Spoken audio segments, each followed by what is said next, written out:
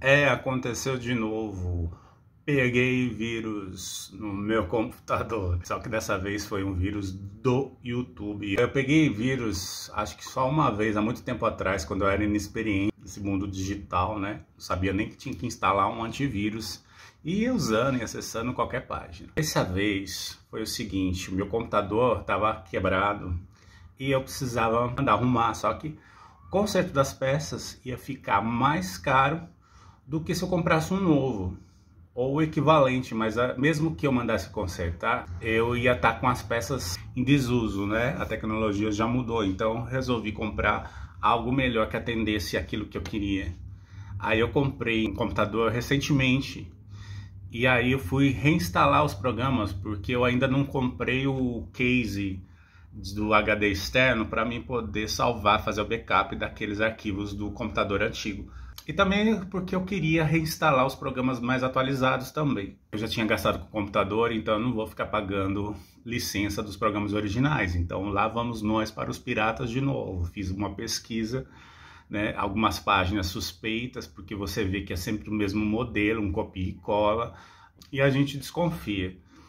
Aí eu vi no YouTube, eu falei assim, acho que no YouTube é mais confiável, porque se não for confiável, a própria pessoa do canal ela desabita, desabita, ela desabilita os comentários, para senão as pessoas vão lá e começam a reclamar. O YouTube então é mais seguro, né? Qualquer coisa a gente, as pessoas vai ter reclamações no canal da pessoa. Comecei a desconfiar quando eu achei uns vídeos é, que parecia tudo uma voz robótica, sabe? Aquelas, aqueles programas que de narração não era a própria pessoa fazendo em inglês e era todos assim mais ou menos no mesmo estilo. E as tags dos vídeos era muito estranha também, porque tinha muita tag e uma tag colada na outra. Daí isso já, já, é, já fica de, de alerta, hein? Já fica de alerta quando vocês verem algum vídeo no YouTube e tiver muita tag, porque ninguém tem paciência de ficar colocando tanta tag assim, a não ser realmente um programa malicioso. E mesmo o YouTube recomenda assim em torno de oito tags, não precisa exagerar, né? E ali as tags estavam estranhas, estavam todas uma coladas na outra, né? Com todos os tipos de nomes referente à pesquisa de crack. Pegar um programa e usar uma chave né, de alguém original, libera o acesso para você ter o acesso livre sem pagar licença. Mas daí eu falei assim, no YouTube é mais seguro, achei um vídeo lá que o menino fez, um vídeo todo cheio de passo a passo, é, com uma musiquinha relaxante. Eu falei assim, nossa, essa pessoa é calma, né? É confiável. Fui atrás do, da trilha sonora, olha só, a pegadinha da gente, né? Baixei, tinha um link lá na descrição, baixava, é, é, descompactava o arquivo, daí tinha é, como instalar o, o bloco de notas explicando como instalar.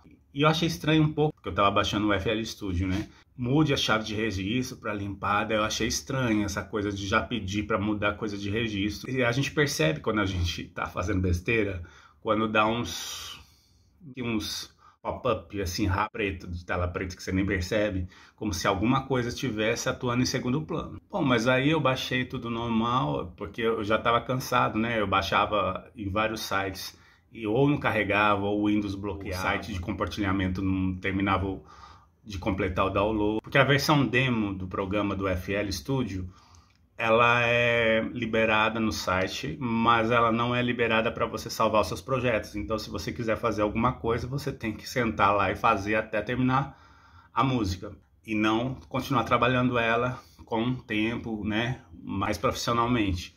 Fiz lá todo o processo, baixei o, arquivo.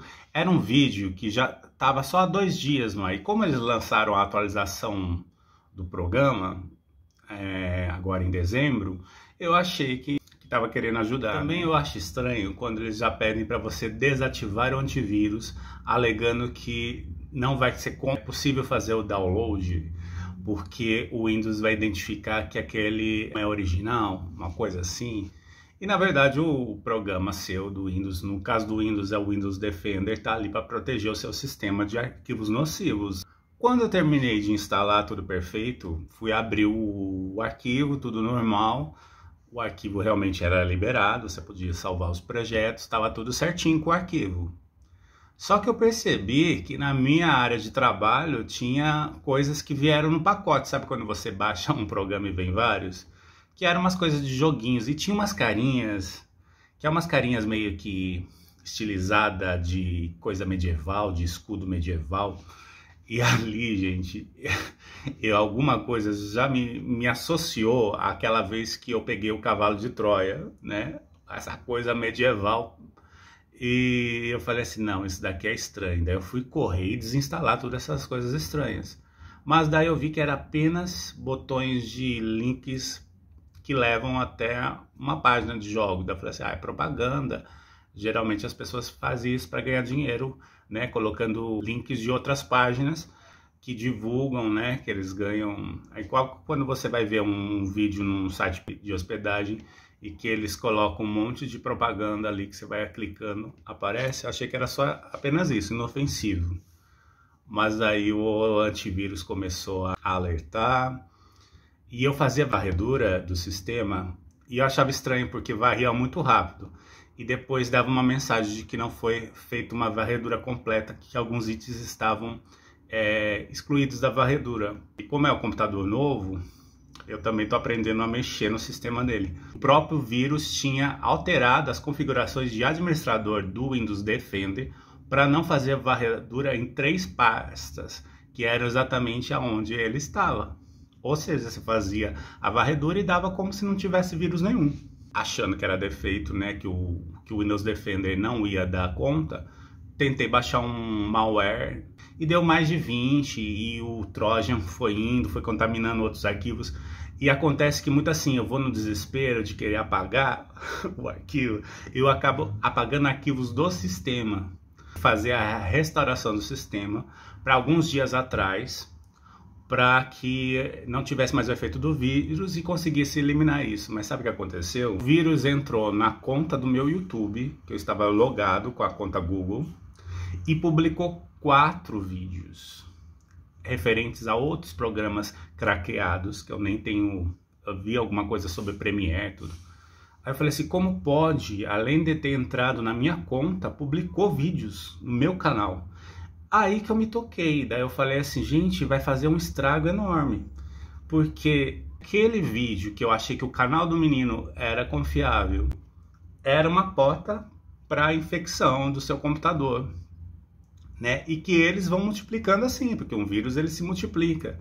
Então, ao, ele contamina seu computador e se ele tiver um jeito de acessar sua conta do Google, ele vai publicar no seu canal do YouTube. E como tem muita gente que nem tem, tem o canal do YouTube, às vezes postou algum vídeo da família, mas nem usa, né? Não é todo mundo que, que é um youtuber que tem um canal e, e se dedica a isso.